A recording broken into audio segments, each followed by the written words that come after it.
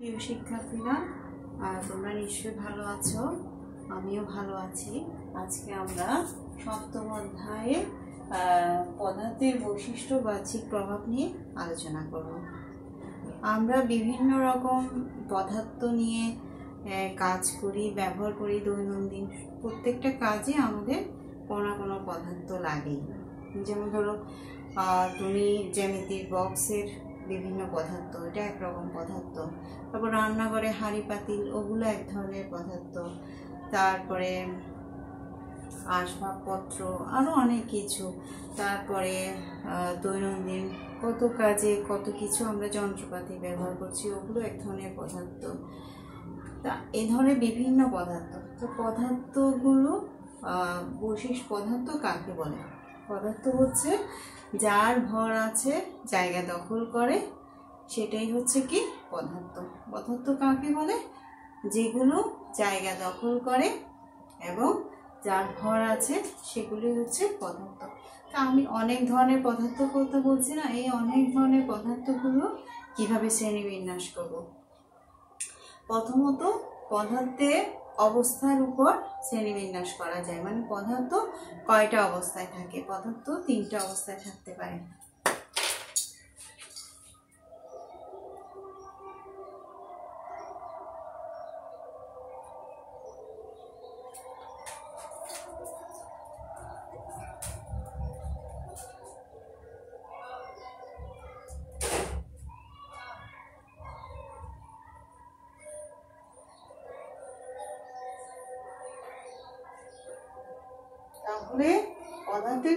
অবস্থা আছে? কঠিন, তরল ও বায়বীয়। যদি পানির কথা চিন্তা করি, পানির কঠিন অবস্থা হচ্ছে বরফ বরফ হচ্ছে পানির কঠিন অবস্থা, আর পানি হচ্ছে পানির তরল অবস্থা, আর বায়বীয় হচ্ছে বাষ্প। পানির তিনটা অবস্থা। কিন্তু আমরা কঠিন পদার্থের মধ্যে কি কি বুঝি? কি কি আছে? লোহা আছে লোহার তৈরি জিনিস, তারপরে তামা, তারপরে বিভিন্ন যন্ত্রপাতি হাড়ি পাতি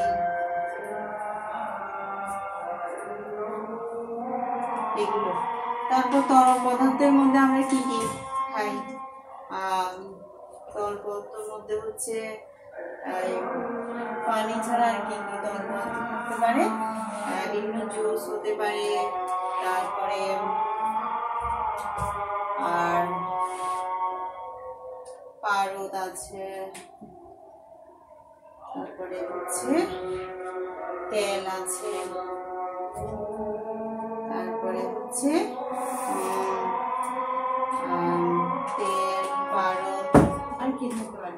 তা বিভিন্ন ধরনের তরলপদার্থ আছে। আর বায়বীয় পদার্থ হচ্ছে কি? অক্সিজেন নাইট্রোজেন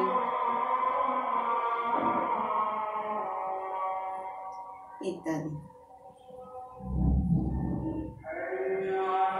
তারপরে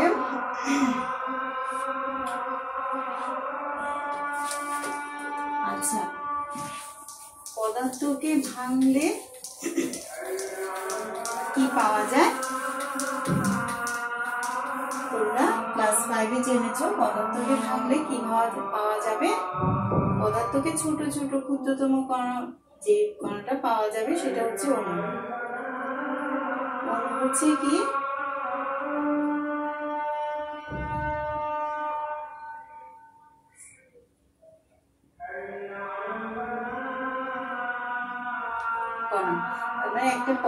পদার্থকে যদি আমি ভাঙি, ভাঙতে ভাঙতে যে ছোট কণাগুলো পাবো, সেগুলো হচ্ছে কি অণু। এখন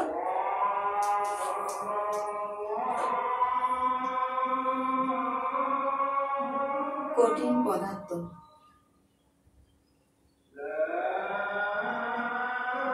কঠিন পদার্থের মধ্যে অণুগুলো কীভাবে থাকে? খুব কাছাকাছি। মানে কোনো ধরনের ফাঁক থাকে না অণুগুলোর মধ্যে।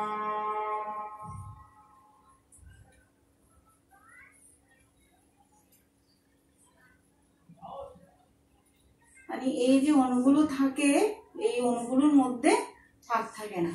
তাই কঠিন পদার্থে পদার্থ খুব ধীর এবং কঠিন পদার্থে কি আছে? নির্দিষ্ট আকার আছে।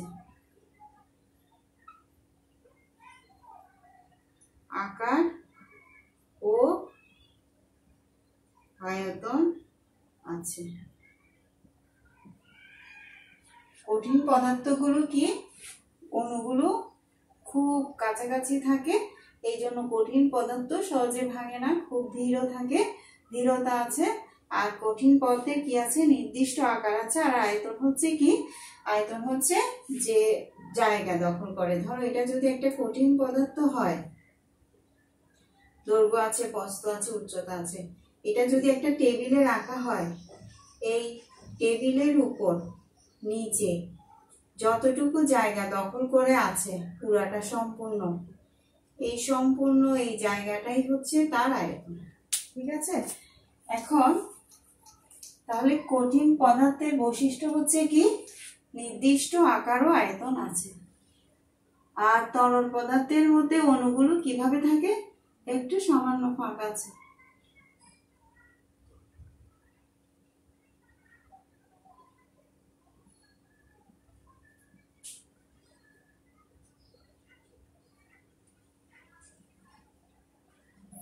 এরকম, মাঝখানে মাঝখানে, একটু একটু ফাঁক আছে। হ্যাঁ এটা হচ্ছে তরল পদার্থ। তাই এই যে ফাঁকগুলো আছে, এই জন্য তরল পদার্থের ধীরতা কম। আর তরল পদার্থগুলো তরল পদার্থে কি নাই নির্দিষ্ট তরল পদার্থে নির্দিষ্ট আকার নাই। আর তরল পদার্থে কি কিন্তু তরল পদার্থে কি আছে? নির্দিষ্ট আয়তন আছে।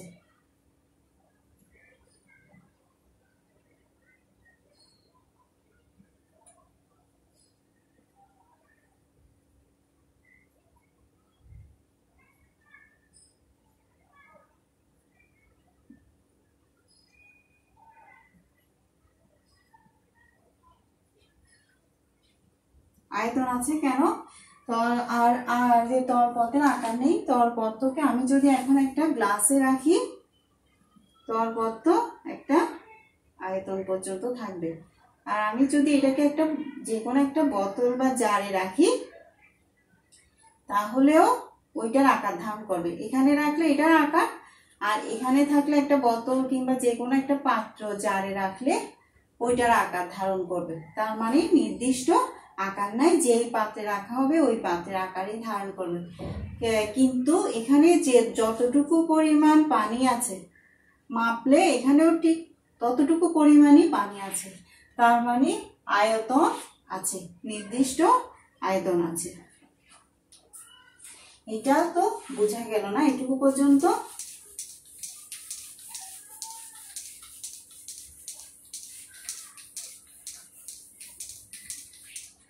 এবার হচ্ছে বায়বীয় পদার্থ।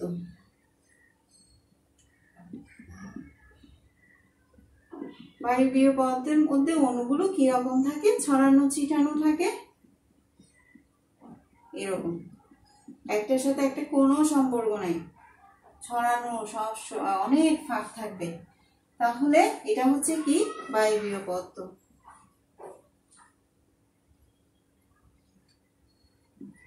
বায়বীয় পদার্থের কি থাকবে না? নির্দিষ্ট আকার থাকবে না। যেমন ধরো বাতাস। বাতাস কি আমরা ধরে কোনো আকার আছে? নেই। নির্দিষ্ট আকার নেই।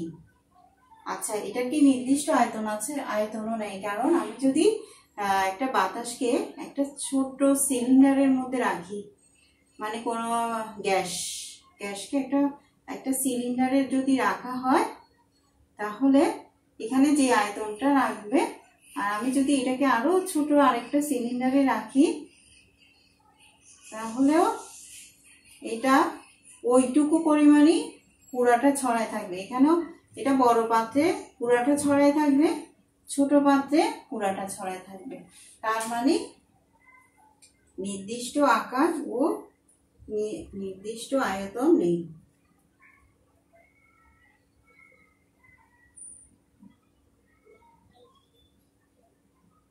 বায়বীয় পথ তো আমরা চোখেও দেখি না কিন্তু বাতাসকে তো আমরা অনুভব করতে পারি। তো এরকম বায়বীয় পথে কি? নির্দিষ্ট আকার ও আয়তন নেই। এটা হচ্ছে পদার্থের অবস্থা ভেদে হচ্ছে আহ, পদার্থের শ্রেণীবিন্যাস প্রকারভেদ। আর আরও কীভাবে আমরা শ্রেণীবিন্যাস করতে পারি? কাঠিন্য, ঘনত্ব।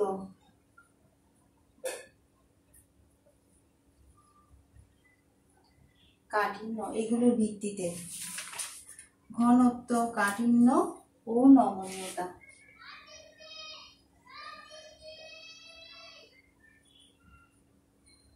নমনীয়তা, এগুলো। এগুলোর উপর ভিত্তি করে আমরা কি করতে পারি? আর পদার্থের শ্রেণীবিন্যাস করতে পারি। ঘনত্ব কীরকম? ঘনত্ব হচ্ছে তুমি এক যে পদার্থের মধ্যে অন্যগুলো খুব কাছাকাছি থাকবে, যেমন কঠিন পদার্থ এটা কি? ওজন বেশি, কাছাকাছি থাকবে। আর যেই পদার্থের মধ্যে অণুগুলো একটু হালকা হালকা ভাবে থাকবে সেটার ঘনত্ব কম। যেমন যেমন ধরো, এক কেজি লোহা। আর তুমি এক কেজি তুলা নিলা। তাহলে তুলার ঘনত্ব কম হবে, আর কি? লোহার ঘনত্ব বেশি হবে। ঘনত্বের ভিত্তিতে পার্থক্য হচ্ছে এরকম। আর কাঠিন্যের ভিত্তিতে হচ্ছে কি? কতটা শক্ত। যেমন লোহা। লোহা, শক্ত। তারপরে হচ্ছে ভঙ্গুর তারপরে হচ্ছে আর আর কি লোহা, তামা। এগুলো হচ্ছে শক্ত সরি, লোহা কি ভঙ্গুর না, ও ভঙ্গুর নয়। ভঙ্গুর নয়। শক্ত এবং ভঙ্গুর নয়, সহজে ভাঙা যায় না। তারপরে নমনীয়তা। লোহা কি নমনীয়তা আছে? লোহা কি বাঁকা, বাঁকানো করা যায়? বাঁকানো যায় কিংবা কোনো ধরনের কিছু করা যায়? নিয়ে করা যাবে না। তামাও একই, শক্ত। তাহলে আরও অনেক পদার্থ আছে যেগুলো এই ধরনের। শক্ত ভঙ্গুর নয়। তারপরে যদি প্লাস্টিক বলি প্লাস্টিক কীরকম নরম। তারপরে নমনীয়। প্লাস্টিকের স্কেল আমরা কি করতে পারি? বাঁকাতে পারি। এরকম। তারপর কাঠ। কাঠ কি? কাঠ কি ভাঙা যায়? শক্ত। তারপরে ভঙ্গুর নয় ঠিক আছে? তাহলে এভাবেও আমরা কি করতে পারি? ঘনত্ব, কাঠিন্য, নমনীয়তা। আমরা দৈনন্দিন অনেক জিনিসপত্র দেখি, আমরা অনেক যন্ত্রপাতি নিয়ে কাজ করি, অনেক কিছু লাগে আমাদের। ওগুলোর মধ্যে তোমরা দেখবা যে, এই যে পার্থক্যগুলো তোমরা যাচাই করে দেখবা। ঘনত্ব, কাঠিন্য নমনীয়তার ভিত্তিতে আমরা পদার্থকে শ্রেণীবিন্যাস করতে পারি। ঠিক আছে? এবার এবার আসো ধাতু ও অধাতুর মধ্যে বৈশিষ্ট্য। পদার্থ পদার্থ হচ্ছে দুই প্রকার।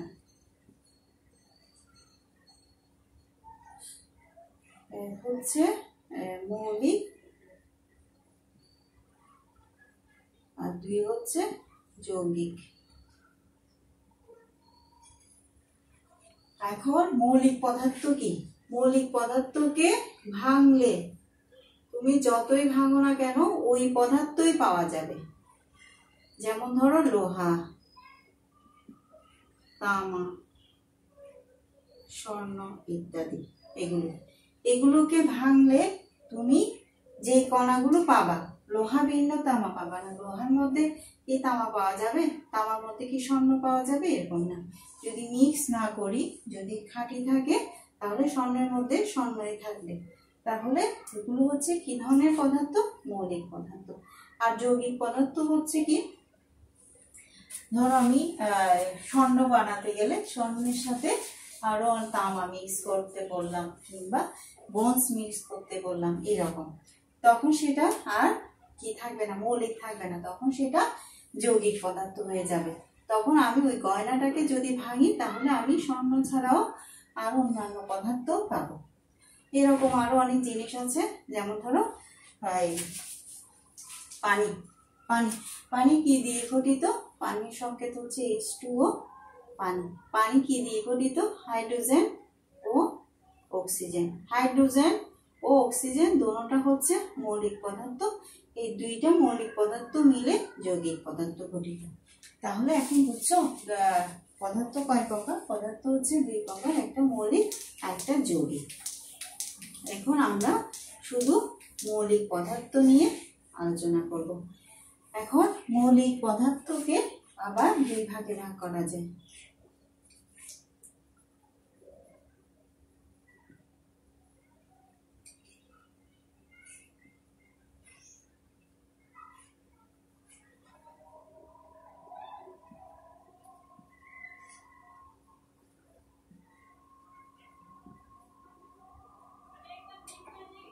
ধাতু তাহলে মৌলিক পদার্থকে কয় ভাগে ভাগ করা যাচ্ছে? মৌলিক পদার্থের দুই ভাগে, একটা হচ্ছে ধাতু, একটা হচ্ছে অধাতু।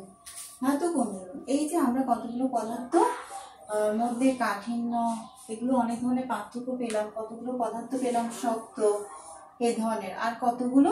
যেমন বায়বীয় পদার্থ। তো এগুলো এগুলো আমরা চোখে দেখা যায় না। তাহলে অক্সিজেন, হাইড্রোজেন বললাম। অক্সিজেন, হাইড্রোজেন আর লোহা, এগুলো মৌলিক পদার্থ, কিন্তু এগুলোর মধ্যে পার্থক্য আছে।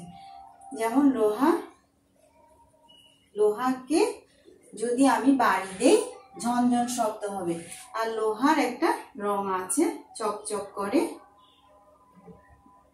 আর যেমন স্বর্ণ, স্বর্ণের কথা চিন্তা করি, এটা কি করবে? চকচক করবে। লোহার তৈরি জিনিসও চকচক করে। তারপরে, আর সব আরও অনেকে আছে, তামা। তামাও চকচক করে। তারপরে যদি বাড়ি দেই, কোনো কিছু দিয়ে বাড়ি দেই, শক্ত কিছু দিয়ে বাড়ি দিলে ঝনঝন শব্দ করবে। ঝনঝন শব্দ হয়। তারপরে হচ্ছে তামা, এগুলো কি? ধাতুর আরেকটা বৈশিষ্ট্য হচ্ছে বিদ্যুৎ তাপ তাপ পরিবাহী। তাপ ও বিদ্যুৎ পরিবাহী।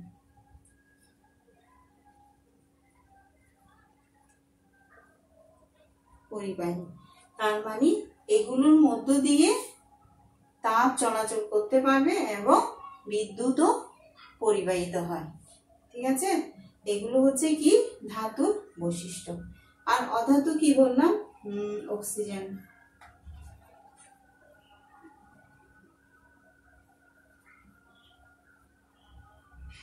hydrogen. এগুলো হচ্ছে কি? এগুলো হচ্ছে বায়বীয় পদার্থ মানে বাতাস। এগুলো আমরা চোখে দেখি না। তাহলে এগুলো কি? এ ধরনের বৈশিষ্ট্য আছে? চকচক ঝনঝনে শব্দ হয়, এগুলো নাই।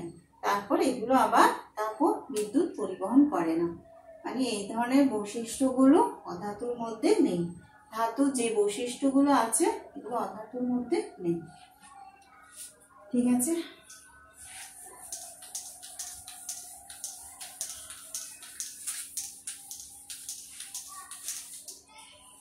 এবার আসো, ধাতুর তাপ পরিবাহিতা। তোমাদের বইয়ে একটা পরীক্ষা আছে এরকম যে মোমবাতি মোমবাতির শিখা থেকে কি হচ্ছে? তাপ বের হলে এখানে তুমি একটা তামার পাত কিংবা লোহার পাত দিয়ে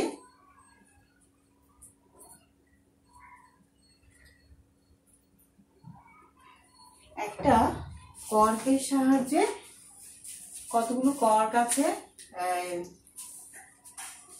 যেগুলো তাপ পরিবহন করে না। সেই ধরনের করগুলো তুমি লাগিয়ে দিয়ে লোহা এমন বরাবর লাগাবা যাতে এটা ঢুকে ছিদ্র করে যা বরাবর করে ছিদ্র করে এটার মধ্যে মাঝখানে কর্কটা লাগিয়ে দিবে। আর এই তামার পাটটা তুমি আগুনে স্পর্শ করাবে। যতক্ষণ পর্যন্ত না গরম অনুভব করবে, ততক্ষণ পর্যন্ত না আগুনের তাপটা নেবে। এখন যখন গরম লাগবে, তখন তুমি সরিয়ে ফেলবে। তখন তুমি দেখবা যে এই তাপ, এই তার এই তাপটা কি হয়ে গেছে? পুরা, এখান থেকে তাপটা পুরা পুরা এই রডটা যদি নিয়ে থাকে, এটা যদি একটা রড হয় পুরা রডের মধ্যে ছড়িয়ে গেছে। তাহলে এটা কি বোঝা গেল? এই তামার তার তারটা কি? তা পরিবাহী।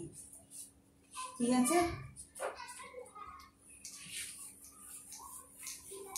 এবার হচ্ছে বিদ্যুৎ পরিবাহিতা। বিদ্যুৎ পরিবাহিতার জন্য তুমি একটা ব্যাটারি নাও।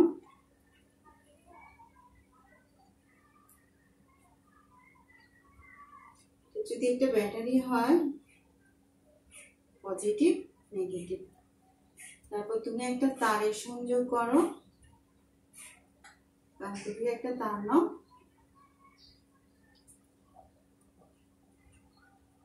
আর এখান থেকে তুমি একটা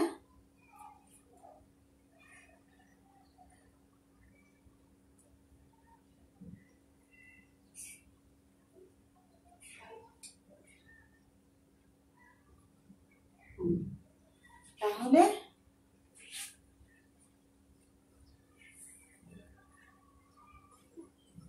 এটা একটা লাইট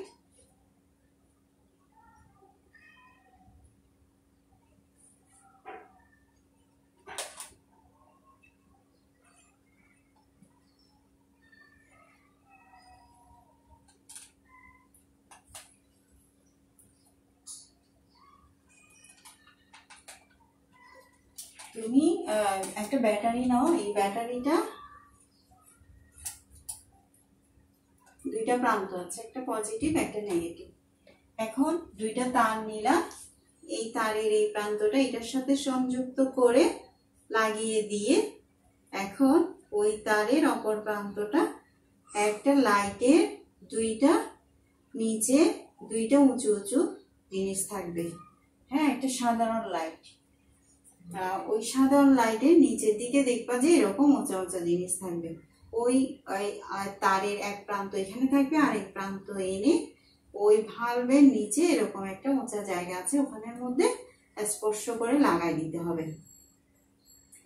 তারপরে আরেকটা তার নিয়ে এই তার এই তারের এক প্রান্ত এখানে লাগিয়ে ব্যাটারির নিচে লাগিয়ে দিয়ে স্পর্শ করিয়ে তারপরে অপর প্রান্ত ওই যে ভালভের নিচে ছোট ছোট দুইটা বিন্দুর মতো আছে। ওই আরেকটা বিন্দুর সাথে এটা সংযোগ করিয়ে দিবা। এটা হচ্ছে কি? তার। তার হচ্ছে তামার তার বৈদ্যুতিক তারগুলো কিসের তৈরি হয়? তামার তৈরি হয়। তাহলে এখন দেখবা যে বিদ্যুৎ মানে ভালটা জ্বলে উঠল। তার মানে তামার তারটা কি? বিদ্যুৎ পরিবাহী। এখন তুমি যদি মাঝখানে তামার তারের মাঝখানে যদি প্লাস্টিক একটা প্লাস্টিক দাও। প্লাস্টিক রাখলা আর একটা প্রান্ত এখানে দিয়ে লাগালা। তাহলে দেখবা যে লাইটটা আর জ্বলছে না। তার মানে কি? ওই প্লাস্টিক বিদ্যুৎ অপরিবাহী। হ্যাঁ তাহলে এখন কি বোঝা গেল? তামার তার বিদ্যুৎ পরিবাহী এর মাঝখানে যদি অন্য কিছু দাও, ওগুলো হচ্ছে কি? বিদ্যুৎ পরিবাহী নয়, এর জন্য বিদ্যুৎটা আর লাইটটা জ্বলছে না। ঠিক আছে? এবার আমাদের পরীক্ষা হচ্ছে কি? বিভিন্ন ধরনের তাপ পরিবাহিতা। একটা বিকারের মধ্যে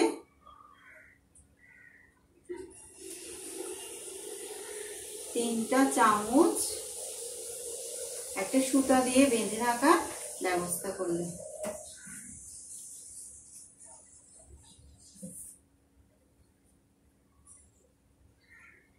একটা হচ্ছে স্টিলের চামচ।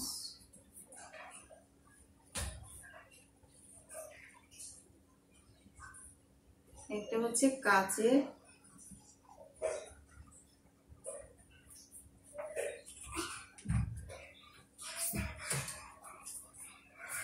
আরেকটা হচ্ছে প্লাস্টিকের চামচ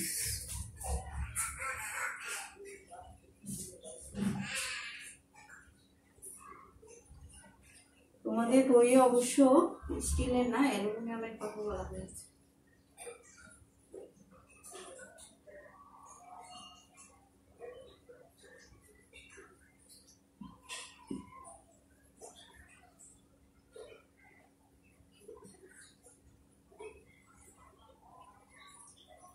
অ্যালুমিনিয়ামের চামচ, কাঁচের চামচ, প্লাস্টিকের চামচ। একটা সুতা দিয়ে আমরা এমনভাবে বাঁধবো যাতে নিচে না লাগে। এখানে হচ্ছে পানি আছে, আর নিচে আগুনের ব্যবস্থা করে আমরা এটাকে গরম করছি।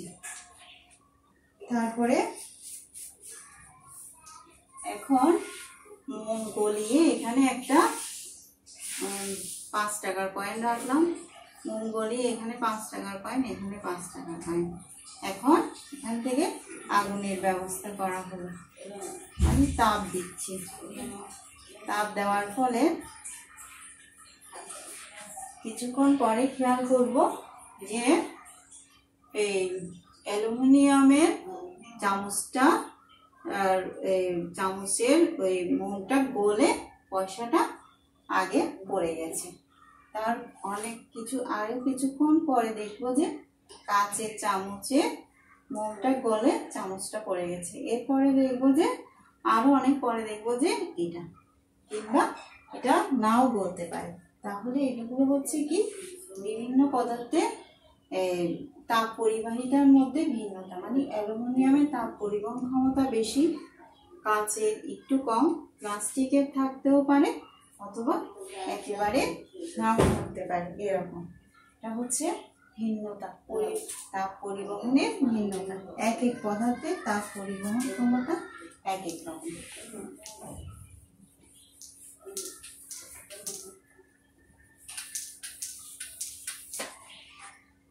তারপরে এরপর আসো গণনাঙ্ক কি?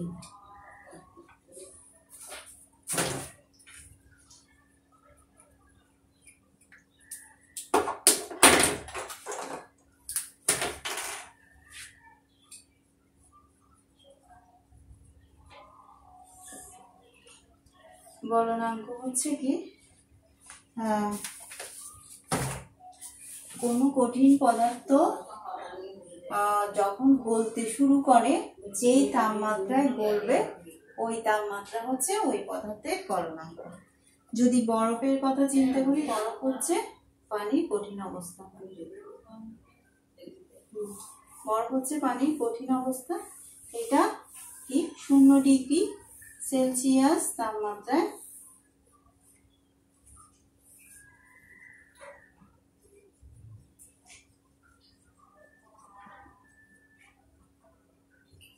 গলতে থাকে। শূন্য ডিগ্রি সেলসিয়াস তাপমাত্রা হলে বরফ গলতে শুরু করবে। তাহলে সেই শূন্য ডিগ্রি সেলসিয়াস হচ্ছে কি? বরফের গলনাঙ্ক। তো এটার জন্য আমরা এটা পরীক্ষা করি। আমরা যদি একটা পাত্র পাত্রে একটা স্ট্যান্ড নিলাম।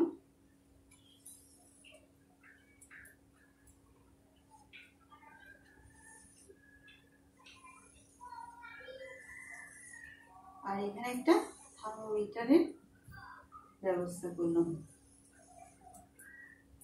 এগুলো একটু পানি থেকে একটু উপরে থাকবে। স্ট্যান্ড সাহায্যে এগুলোকে লাগানোর ব্যবস্থা করলাম। যাতে এগুলো নিচে না লাগে।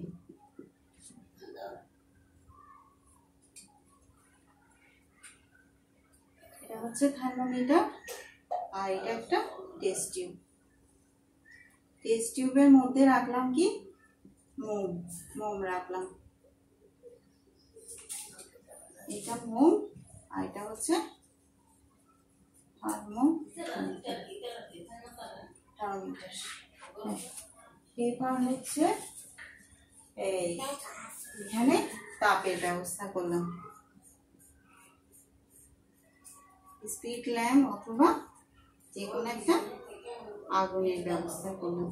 হুম, আগুনের ব্যবস্থা করলাম যাতে পানিটা গরম হয়। এখন কিছুক্ষণ পরে দেখব যে মোমটা গলতে শুরু করেছে। মোমটা যখন গলবে, ঠিক সেই মুহূর্তে আমি থার্মোমিটারটার মানটা জানব। থার্মোমিটারের পাটটা নিব। থার্মোমিটারের পাট কত? দেখব যে থার্মোমিটারের পাট হচ্ছে সাতান্ন ডিগ্রি সেলসিয়াস। তার মানে কি? এই আর মোমের গলনাঙ্ক কত? মোমের গলনাঙ্ক হচ্ছে সাতান্ন ডিগ্রি সেলসিয়াস। তাহলে সাতান্ন ডিগ্রি সেলসিয়াস তাপমাত্রা হলে মোমটা গলতে থাকবে। এর আগ পর্যন্ত সে গলবে না। আচ্ছা এরপরে আসো স্ফুটনাঙ্ক।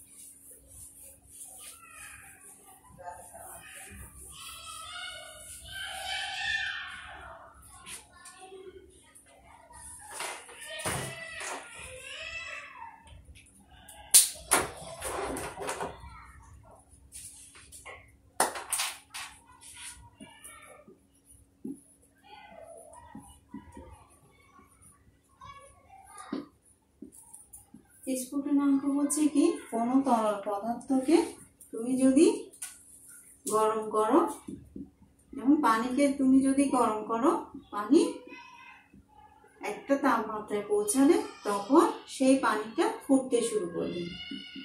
এখন যেই তাপমাত্রায় পানিটা ফুটতে শুরু করে মানে বাষ্পীয় অবস্থায়, তরল অবস্থা থেকে বাষ্পীয় অবস্থায় যায় ওই তাপ বাষ্পীয় অবস্থায় পরিণত হয়। ওই তাপমাত্রাটাই হচ্ছে কি স্ফুটনাঙ্ক ওই পদার্থে। যেমন এই পরীক্ষাটার জন্য আমি একটা তরল পদার্থ গরম হওয়ার ব্যবস্থা করলাম আগুনের তাপে। এখন একটা থার্মোমিটার এখানে রাখলাম।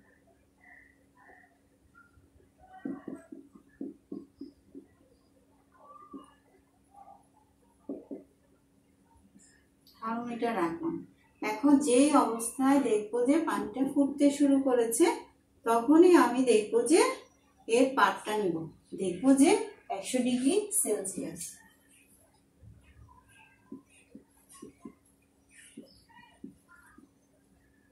তাহলে একশো ডিগ্রি সেলসিয়াসটাই হচ্ছে কি? পানির স্ফুটনাঙ্ক। ঠিক আছে?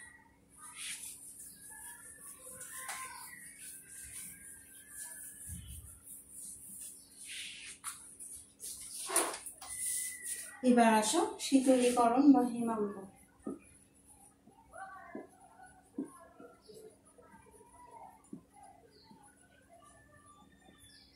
এটা কি? সেটা পরীক্ষা করার জন্য আমি একটা পাত্র নিলাম। পাত্রের মধ্যে এখানে আগুনের ব্যবস্থা করলাম।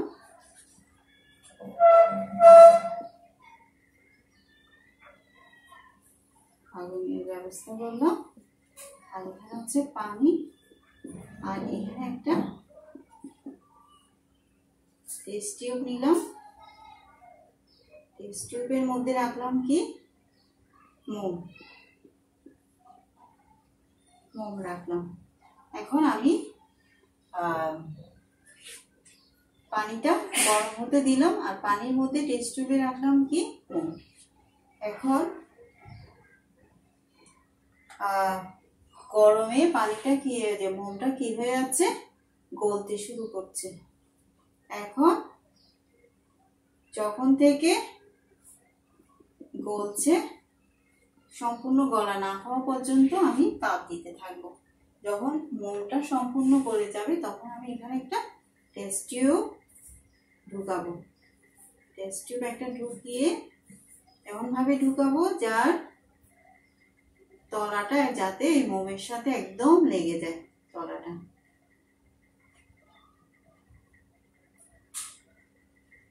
মোমের সাথে একদম লেগে গেল।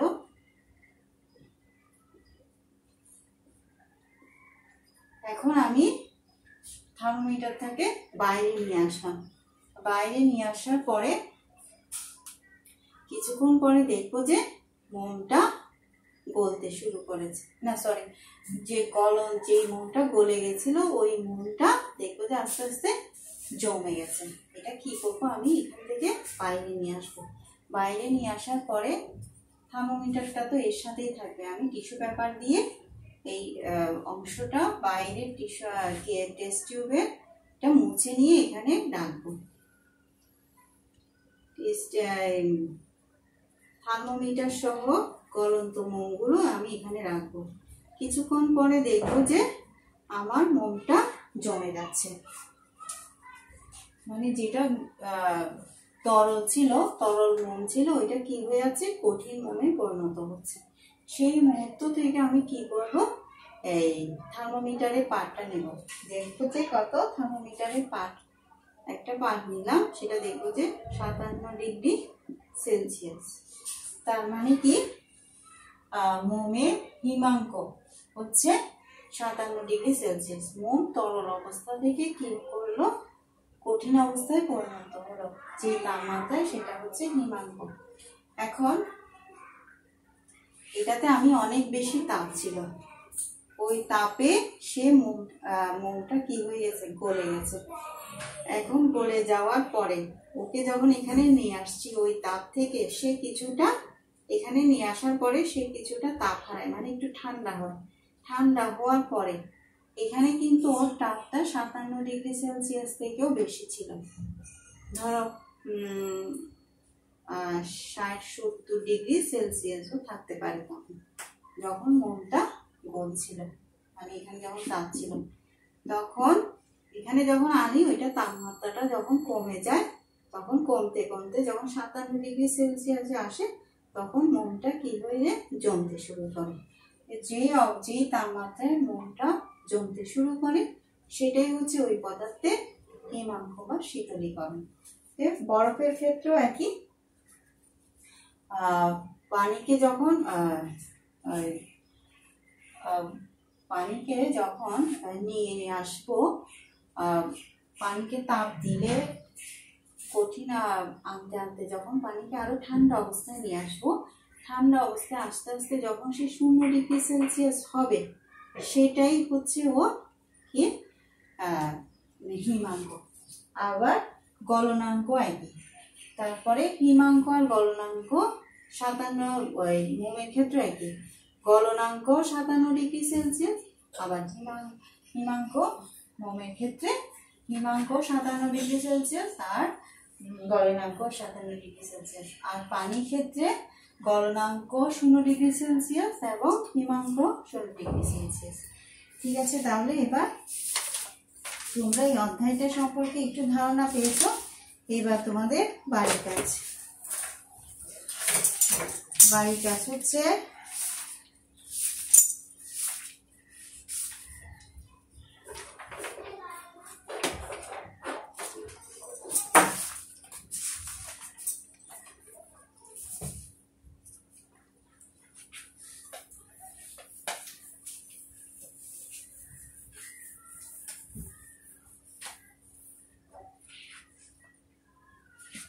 বাড়ির কাজটা লেখে লিখে নাও একটু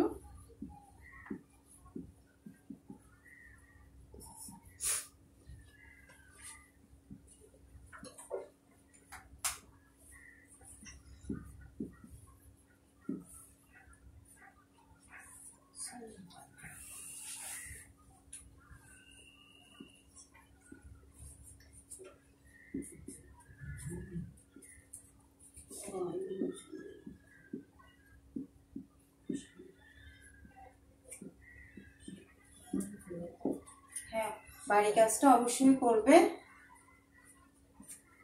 বাড়ি কাজ করে ছবি তুলে ফেসবুক সরি কমেন্ট বক্সে পাঠিয়ে দিবে। ঠিক আছে? আচ্ছা আজকের মতো এখানে শেষ। সবাই ভালো থাকবে